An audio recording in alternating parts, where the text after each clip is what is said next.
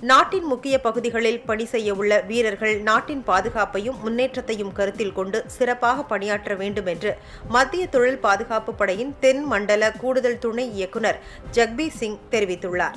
ராணிப்பேட்டை மாவட்டம் அரக்கோணம் நகரிக்குப்பத்தில் மத்திய தொழில் பாதுகாப்பு படை மண்டல பயிற்சி மையத்தில் பயிற்சி முடித்தோர் உறுதிமொழி ஏற்கும் நிகழ்ச்சி நடைபெற்றது.